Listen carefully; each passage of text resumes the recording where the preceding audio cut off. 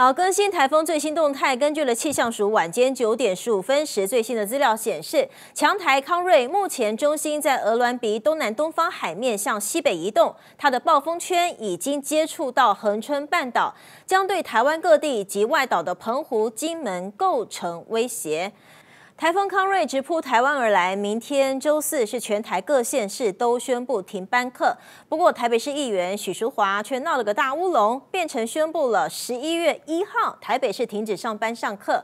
立委谢龙介的侄子谢克阳也在脸书调侃他是大预言家，并且要台北市长蒋万安小心一点哦，如果到时候不放假，就会害许淑华翻车了。而经过网友们的提醒之后，许淑华目前已经更正了图片，并且向。网友致歉。